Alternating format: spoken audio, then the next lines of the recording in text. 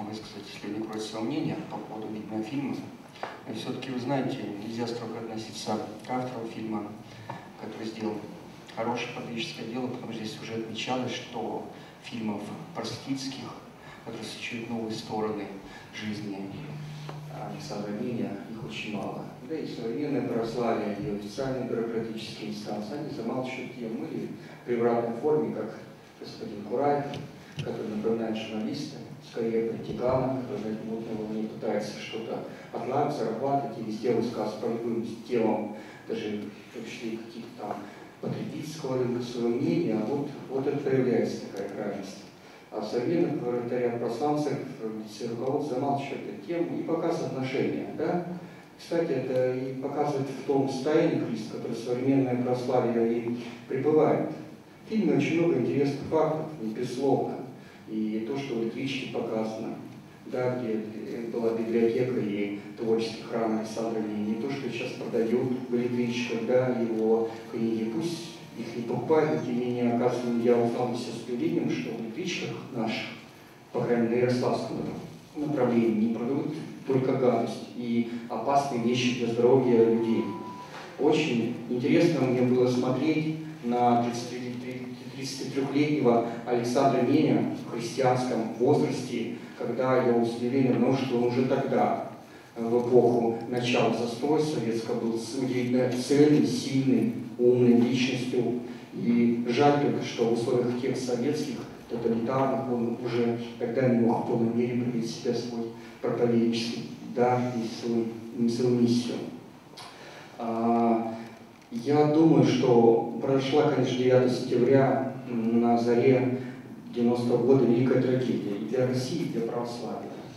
Потому что путь этой жизни оборвал и те хорошие ростки, э, перестрой, перерождения нашей православной церкви, а может быть и всей России. Потому что православие балансирует тот период, на мой взгляд, будет обновление православия всех официальных одежд, а, канонических в том числе обряд, на более современные формы, может понятный для молодежи, или не будет. Выбран был архиконсервативный вариант. Это, несомненно, связано с тем, что имение не стало. Потому что, несомненно, что не хватает самой православию. Католичество это избежало опасности, переродилось. Реформации хватает православию. Оно, к сожалению, загнивает.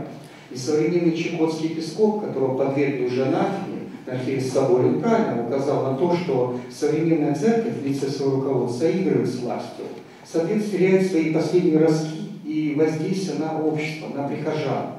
Это ведь верно, на самом деле, подвечно. И это подмечено. Это связано с 90-м годом, с 9 сентября, то, что произошло. Жаль, что православная церковь не проводит политику как бы обращения взгляда общества, молодежи на фигуру Александра на его взгляд. Ведь он был очень глубоким мыслителем. Не скрою, что в 20 веке были два, на мой взгляд, серьезных, глубочайших мыслей, которые до сих пор не раскрыты для нашего общества. Не только православного, но целом российского. Это Павел Флоренский, который также трагично погиб, и отец Александр Мень. Вот, собственно, что у нас происходит-то. Очень неприятная вещь, на мой взгляд. Но я думаю, что противовес господину политикану, журналисту, публицисту Раеву назрел момент, если православие хочет возродиться, а шансов все меньше и меньше, настал вопрос о канонизации отца Александра Меня. Мы покажем тем самым обществу отношение к нему и то, что, может быть, православие без официального наверное, пойдет иным путем в начале 21 века. Режиссер хотел посоветовать снять продолжение этого фильма, вторую часть, наверное, было бы резонно указать мнение тех людей, которые обязаны Александру Менин, которые с ним общались в творческом смысле, повлиял он на них, и было обоюдное воздействие, как Александр Солженицын, думаю, здесь его мнение, несомненно, нужно сказать, сына Михаила Меня, тех детей, которых Александр Мень очень э, любил, и они уже стали взрослыми. Вот если вы хотите поставить задачу с бытовой, с человеческой стороны осветить эту фигуру, но тем не менее это замечательно. И последнее. Мы все несем ответственность за этот день 9 сентября 90 года. Прежде всего, топаства, которые стали восхваляться э, отцом, вспоминать его всеми добрыми творческими словами, э, да, которая была вокруг отца Александра Мени.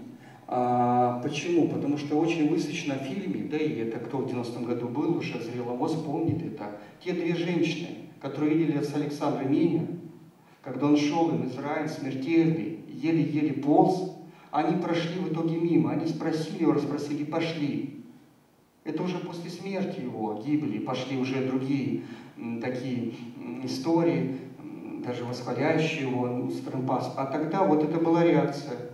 Отец Александр Мини, это в фильме, слава Богу, показано, знал, что он идет на встречу гибели, что он идет к трагичному концу. Но вот прихожане вокруг его не спасли. А нужно было схватить, потому что и движение православия, и целом, может быть, пошло бы иначе. Без этого загнивающего оттенка. Это вина, на самом деле, общества, я думаю. То, что мы говорили. И еще хочу сказать последнее. Канонизация отца Александра важна еще потому, что он умер как Христос. Страдание на пути храма. Он не сказал, и мы все это помним, вот это пресса было освящено хорошо, и сказал, кто его убил, хотя он знал и э, в лицах, и имена своих э, врагов, э, своих убийц, своих тех людей, которые сознательно это сделали. Спасибо большое.